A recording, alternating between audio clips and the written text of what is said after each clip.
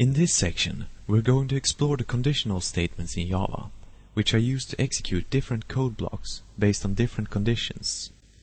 The if statement will execute only if the expression inside the parenthesis is evaluated to true. It can include any of the comparison and logical operators. To test for other conditions, we can extend the if statement with any number of else-if clauses. Each additional condition will only be tested if all previous conditions are false.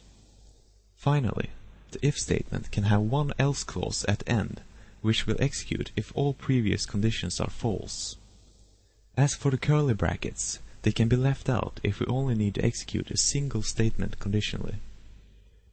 Next, we have the switch statement, which checks for equality between either an integer or a char and a series of case labels, and then executes the matching case.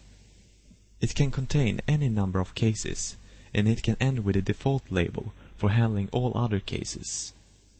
Note that the statements after each case label are not surrounded by curly brackets. Instead, we end our statements with a break keyword.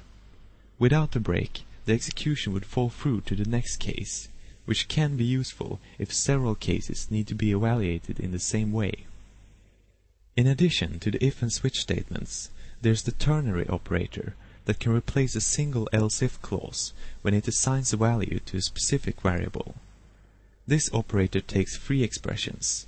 If the first one is evaluated to true, the second expression is returned, and if it's false, the third one is returned.